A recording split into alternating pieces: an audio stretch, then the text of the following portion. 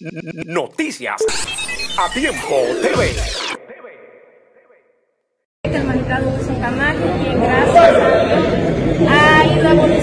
pero que eh, queremos reconocer su trabajo y el de todo el equipo, igual que la independencia que nos ha dado la magistrada Miriam Germán Brito para trabajar los casos, a pesar de que ella no está en el proceso, porque como es de conocimiento de ustedes, ella se inició.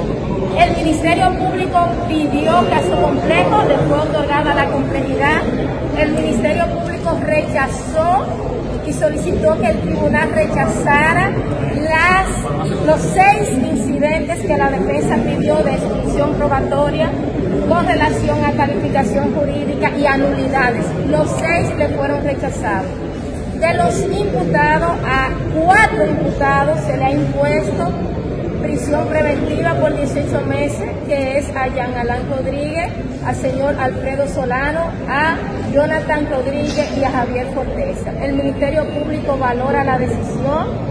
Hay cuatro, tres imputados más que van a arresto domiciliario y uno que va en, a libertad. Entendemos que la magistrada en su decisión motivó que es un caso fundamentado en prueba, que el, Ministerio Público lo acreditó y que con relación a aquello que no otorgó la prisión preventiva es por ella entender que no tenían los riesgos procesales y el peligro de fuga en ningún caso por insuficiencia probatoria. El compromiso del Ministerio Público lo ha demostrado hasta ahora a, la sociedad que tiene el derecho legítimo de que se le presenten casos fuertes este proceso ha sido coherente en esa actuación del Ministerio Público. Nosotros queremos agradecer a toda aquella persona que de forma directa e indirecta han contribuido a la investigación, que muchas veces no hacen llegar informaciones que son relevantes. Créanos que lo agradecemos, todo este equipo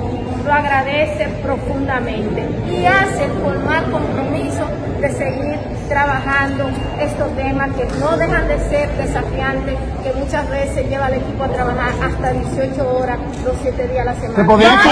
¿Quién en libertad? ¿Quién en libertad y por qué? ¿No habían elementos suficientes? Se van a cumplir en el CCR de la Jara. Ya se lo dijeron. ¿Quién en libertad, magistrada y por qué? José de Moya.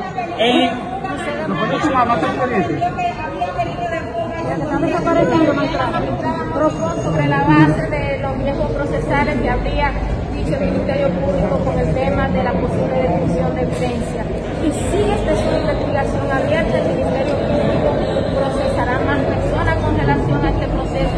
Igual decimos que después de la presentación de la medida han surgido nuevos y graves cargos que en los próximos días el Ministerio Público irá en la etapa procesal correspondiente, agregando a la presente No se.